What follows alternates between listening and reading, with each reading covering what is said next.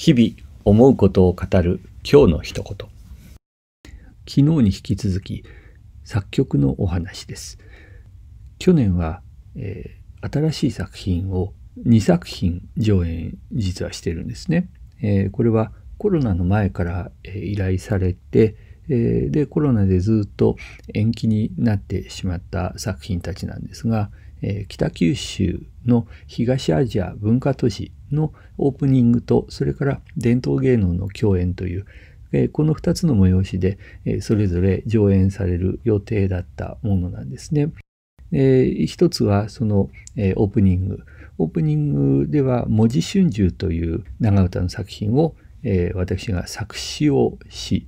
で、作曲を、え、していただき、振りをつけて踊るということをしたんです。その時の作曲者が、えー、杵屋勝三郎さんのお嬢さん、えー、当時まだ芸大の大学生でいらした、えー、杵屋小三郎さんなんですね。えー、とてもあの才能のおありになる方で、えー、非常に面白い曲ができました。実はその当時、えー、杵屋小三郎さんはそれだけの長い、まあ、20分25分ぐらいの作品なんですけどこの作品を、えー、作曲するというのは全く初めてでいらしたんですね。でどうしましょうということだったので、えー、私の方で持ち上げたのは、えそれぞれの場面ごとに、えー、こんな曲こんな感じの曲っていうようなお話。そしてそれぞれの、えー、シーンの分数ですね、えー、細かくここは2分30秒ぐらい。あるいはここは、えちょっとたっぷりと5分ぐらいとかっていうふうに、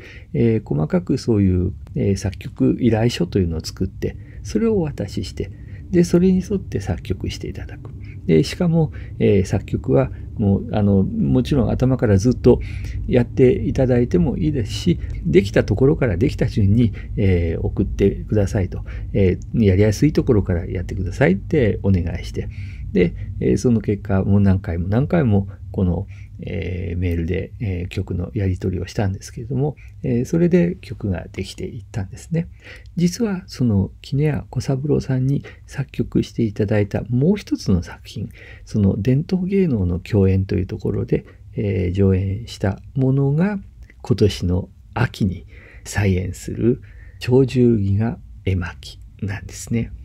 このお話はまたいずれ。ではまた。